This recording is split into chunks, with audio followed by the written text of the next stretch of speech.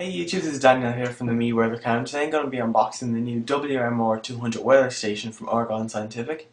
Uh, we got this last week from the UK ukweathershop.co.uk, uh, but we're only getting a chance to open it today. Uh, but in this video I'm just going to unbox it for you guys, uh, and then once I have it finished, uh, I'll show you how I've set it up in my garden, and then I'll show you the console itself. Okay, so here's the box again. Uh, here's the other two sensors as well, so I'm going to go ahead and unbox this. So let's see.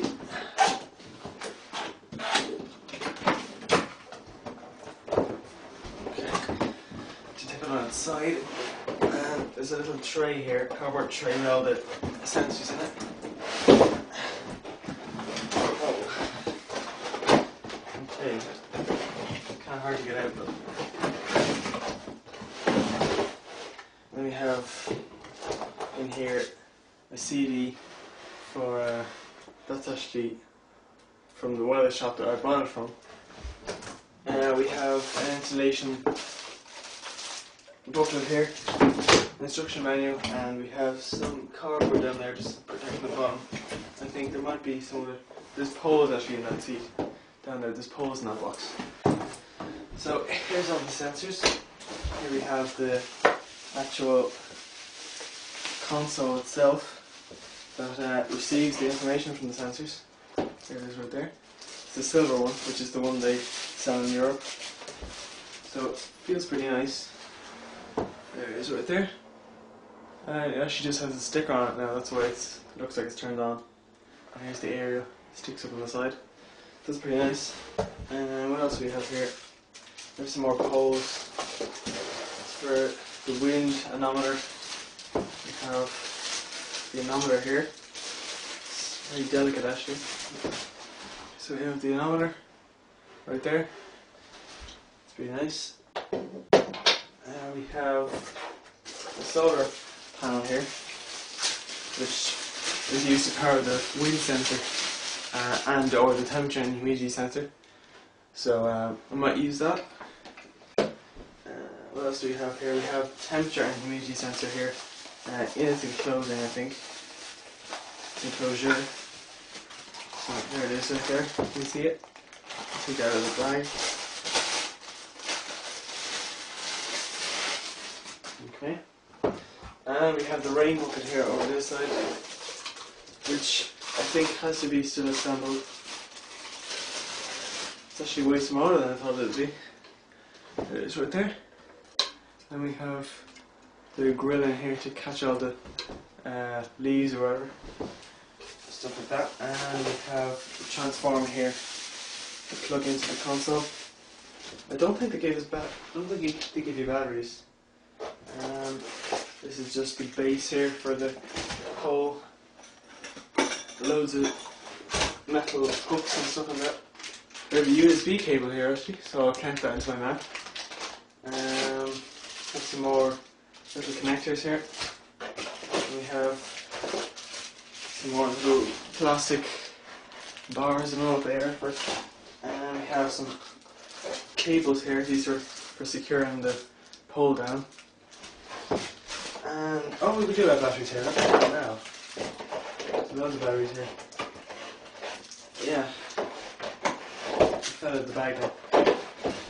There we go. Loads, loads of batteries there. So uh, that's pretty good. I didn't know they're going to give me batteries though. So um, we have the little pole that sticks into the ground there. You see it. Okay, so that's pretty much it for the unboxing, guys, uh, of the weather station. So uh, I think I might just go ahead now um, and unbox the solar sensor as well,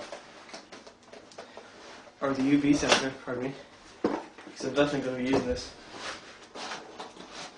I think I'm the first to actually do one of these videos on YouTube. I haven't found anyone else that's an unboxing of this weather station so far. Hopefully I'm the first. And we have some more instruction manuals here.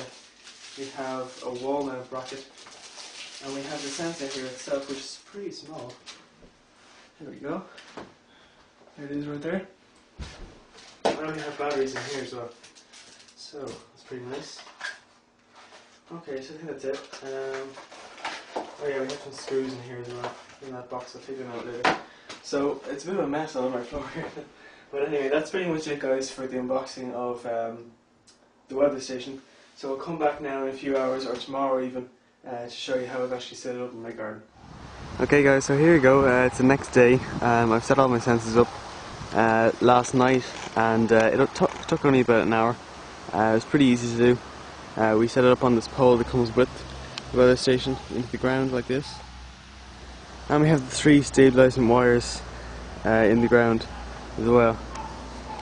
There's a solar panel here and this is connected into the temperature and humidity sensor here. See it in there. And we got the other wire going up into the anemometer, which is spinning around at the moment. It's not that much wind now, but last night actually there was an awful lot. And we set this up here, the rain gauge. We set this up on a pole, a wooden pole kind of table thing. We rounded it off. And uh, we got a good bit of rain last night as well. So that's uh, this first three sensors. So I have the UV sensor here set up on uh, the side of the shed and uh, this transmits every uh, few minutes. Okay guys, so here's the base station. Uh, it's a touchscreen display and uh, you can power by batteries or by uh, using the transformer. It's wireless, obviously you can see here there's the aerial to the sensors outside. We have pressure up here, I have it in hectopascals, you can change the units.